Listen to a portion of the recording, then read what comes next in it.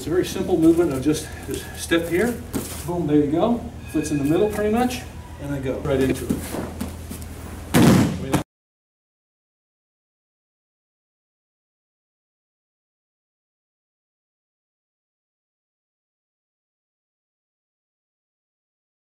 Let's look at now the the Tai Sabaki movement, circular movement into an Ippon Seoinage.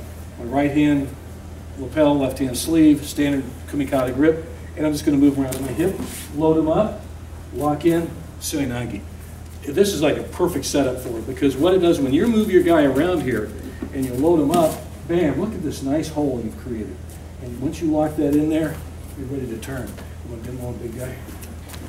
Okay, we got a Big Jake in it. So watch how he just turns and moves right into it. I mean, that's just a classic setup for Seoinage. I mean, especially this style of Seoinage because when you lock your upper, upper arm under his arm like that, you're really carrying him over the back because that's what Seoi means is to carry over the back. And look how he's, he, Derek's moved Jake right into position. All Derek has to do is just turn quickly. There's, a, there, there's a minimum amount of footwork on the thrower's part, on Derek's part. All he has to do is move him into position, load him, and set. And it's really a, the essence of a good, effective technique. Okay, just show how you set your, you don't have to throw him, just watch how, he, watch how he moves his body into position. Okay, So just a little bit of a step. You don't need a, a big, huge one like we were doing with the Koshiguruma, because I'm gonna use my grips to move him more. So we get just a little bit of a, a step to the outside, and then you use your grips, move him that way. And he's now, it's just like I took a step in between his feet, but I didn't have to step. I can pop him open, catch that underhook, and then I do my one step of the whole move, and I'm in. Okay.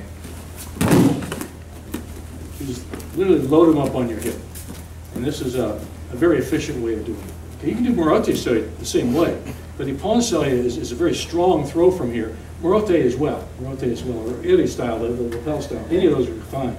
This is a perfect setup for a carry over the back type throw, which is a Seoi Nage.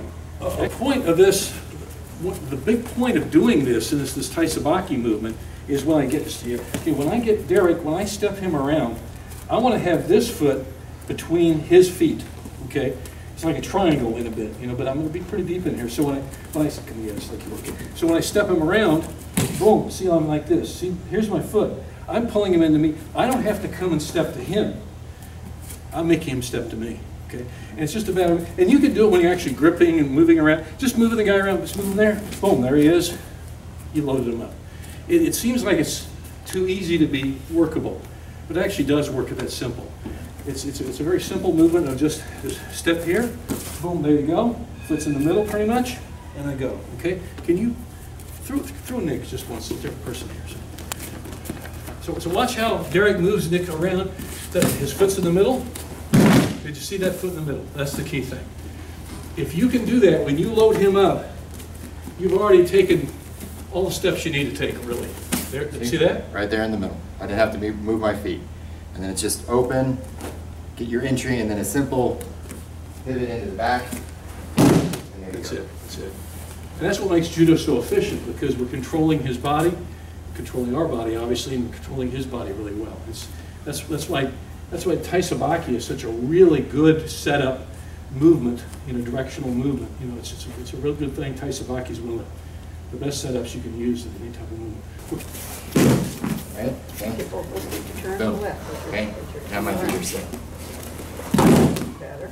That's what- This one, There you go.